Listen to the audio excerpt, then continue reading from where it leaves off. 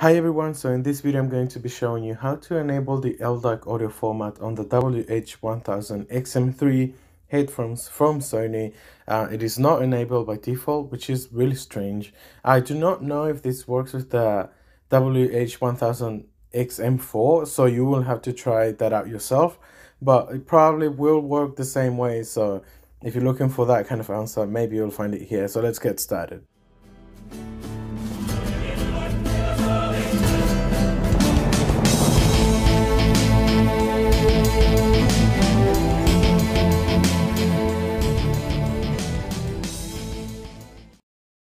So you want to bring the menu down and after that you want to tap and hold the Bluetooth icon on your Samsung device. It'll take you to Bluetooth devices. Then you want to tap on the settings icon on the WH-1000XM3 headphones and at the bottom you'll see the LDAC uh, format um, option that you can toggle on. So just turn that on and that's it. You are done.